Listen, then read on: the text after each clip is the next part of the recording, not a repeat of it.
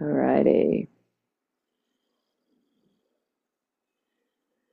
My intention over the next few weeks is to systematically go through some foundational teachings from the tantric lineages. And today's earmarked for the, the fruits of practice, the fruits of the path, the goals of the path. And what I noticed when I was reflecting on this, I feel like this is a teaching I've given so many times. And there's a part of me that's like, how do I go into this again? Like, do I want to go into this again? I've you know given it so many times. And, when, and the realization of wanting to feel the aliveness, wanting to feel the the freshness, and this this sort of pulsation of life is that when we start to know something or believe or feel as if we know something, it starts to become more conceptual. It starts to go more into the intellect, and then we're speaking from that place. And to stay with aliveness, to stay with presence, to stay with sahaja, sahaja is the spontaneous arising of things, right? Is part of this journey. And so that's my challenge, you know, to myself as a teacher, is to speak to this and not to go into habit, not to go into pattern, not to go into the well worn ruts as such, and to see what arises. Um, and so, yeah, if there's any questions that pop up along the way, just feel free to, to drop them into chat. Um, and if you, you know, if you want to say something on on camera, just drop into chat, and then I'll I'll bring you in. Okay, so it's really useful to know what the goals or the fruits of a particular path are just to ensure that what you want is actually what's delivered by the path. Because different paths have different goals. For example, classical yoga, um, epitomized by, say, uh, Patanjali's Yoga Sutras, is very much a transcendent path. It's about transcending the body. Uh, and that's great if that's what it is that you want to do. However, if you're a you know a 21st century householder and you're very much living with you know you, you're working your job and you have a family and you're doing all these things, maybe toward the end of your responsibilities in your 70s or 80s, you might want to go into a, tra- a transcendent path.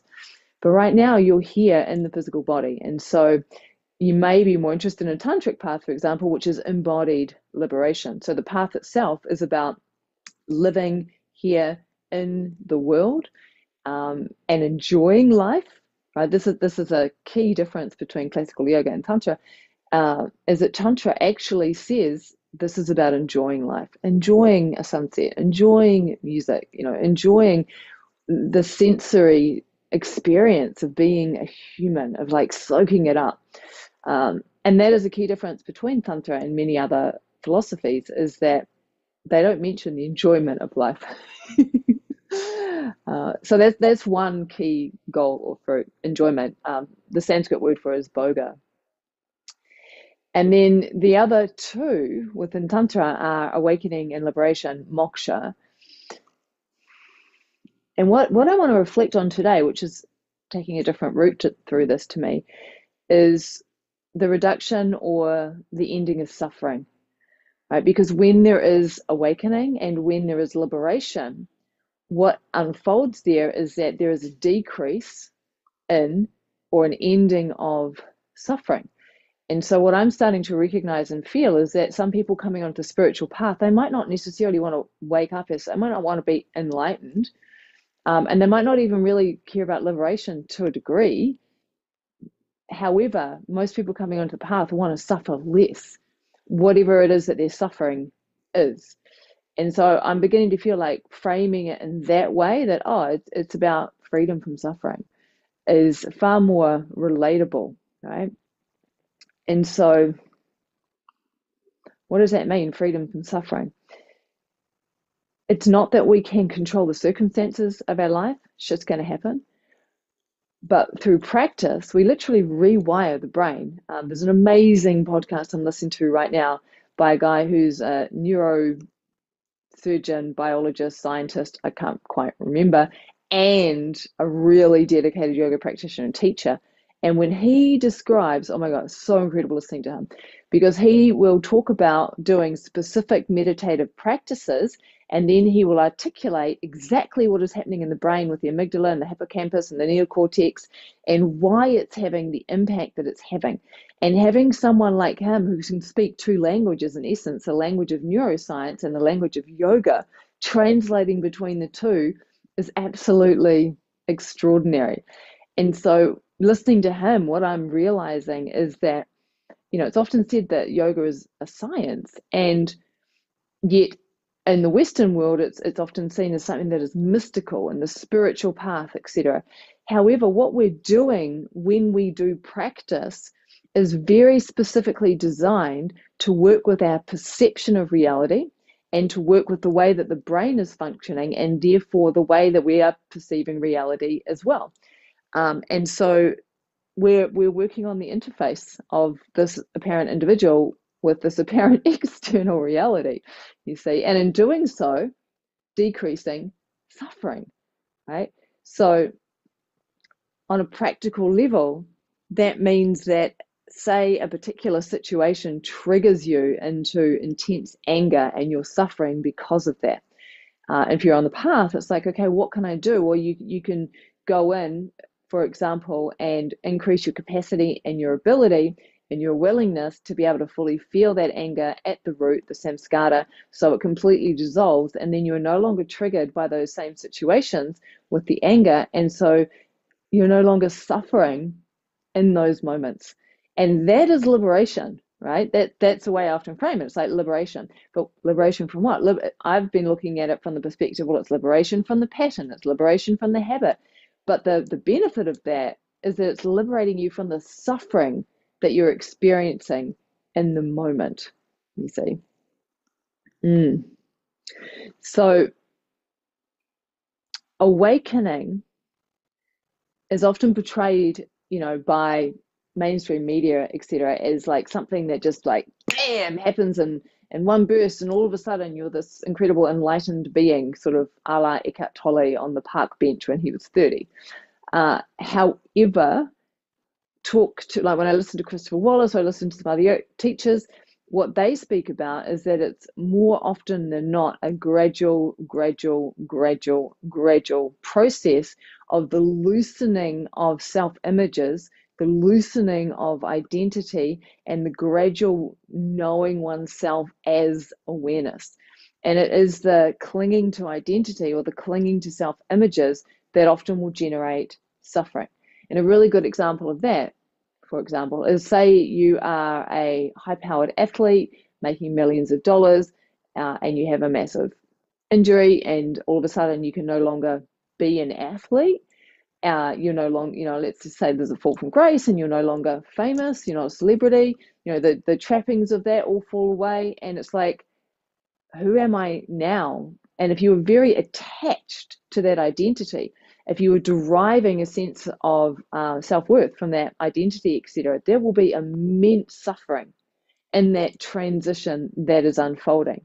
Whereas if you really know yourself as awareness and there's a recognition that this is just a happening that is temporary and it will always come to an end because athleticism always ends eventually one way or another.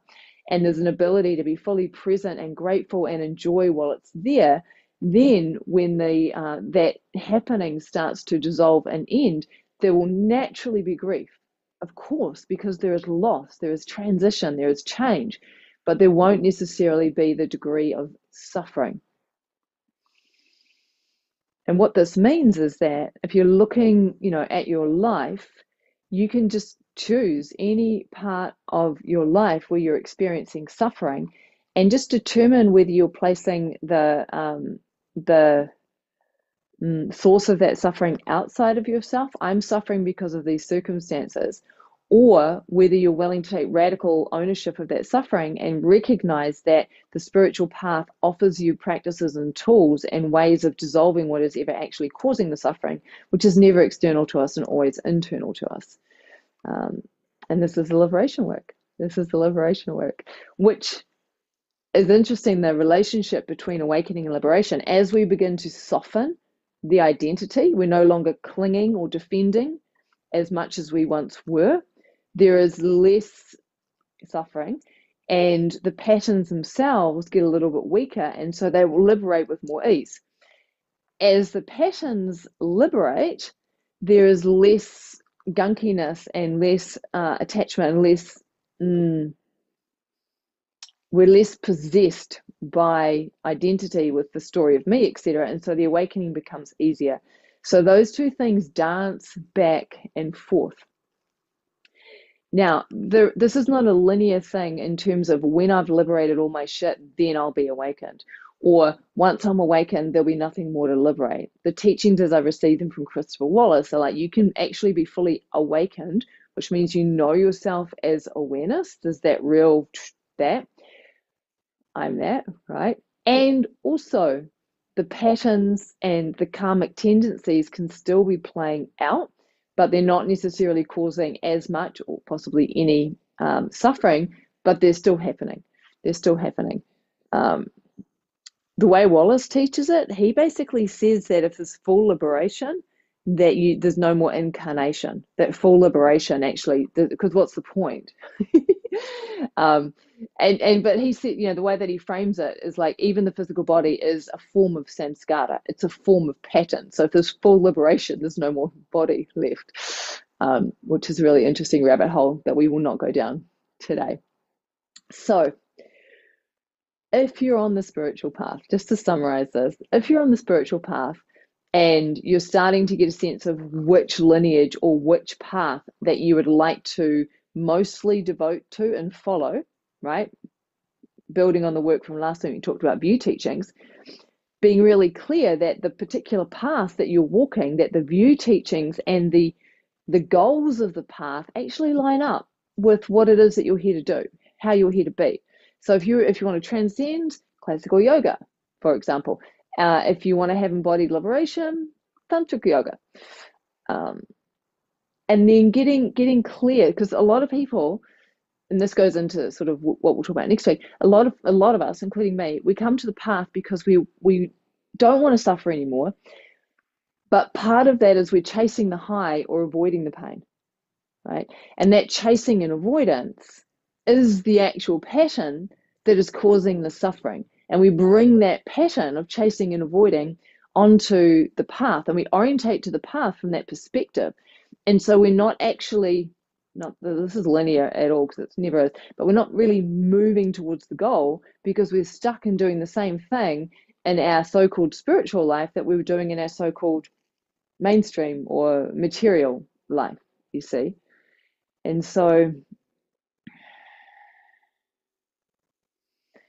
it really it, it really does this help to just clarify your desire. Why are you here why are you here on this path? Why are you showing up to these teachings? Why do you practice? What is it about for you? What is your deepest heart's desire? What is your longing? And to get in touch with that, to get in touch with that on the in the deepest possible way. Now, just one final piece on this. So we have enjoyment, right, bhoga, and we have moksha, which is awakening and liberation. And the dance within Tantra is that Bhoga, enjoyment of life is always subliminated to awakening and liberation because otherwise you start to have hedonism.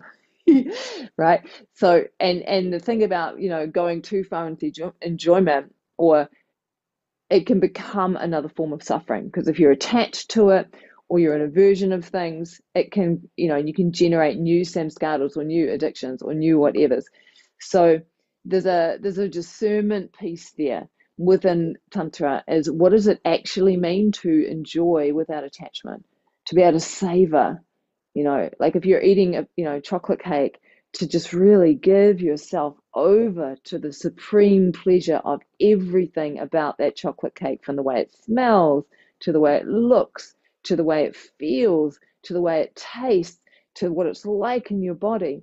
And when you drop in and do that with 100% presence, then it's very unlikely that you will overeat the chocolate cake as such because the way you're moving is to really meet and be with the thing, um, which is very, very different from the kind of apparent enjoyment that is more like a I've got emotion coming up and I don't want to feel it. So I'm reaching for the cake and I'm stuffing it down and I'm not even really smelling it, tasting it, feeling it, seeing it. I'm just doing whatever's needed here so I don't feel that emotional thing.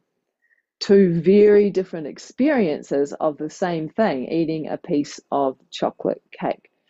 Um, and so being aware of the interplay between awakening, liberation, enjoyment is really important. For a while there, I was probably somewhat too focused on the liberation, uh, dissolving all the things, etc. And I was forgetting to just pause and relax and enjoy. And then I started to realize, oh shit, I'm grasping after liberation. My relationship to liberation right now is that of grasping. And so soften, let go, and recognize that I'm unconsciously moving from this place of when this is all healed, then I will, which is the inherent illusion of it, right? And this is the, the other aspect of the tantric teaching the goals. It's all here, right now.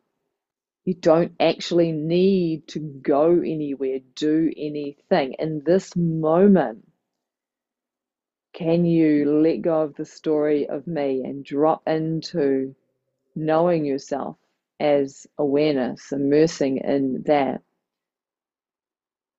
and just feeling that joy of beingness, right? That joy of beingness.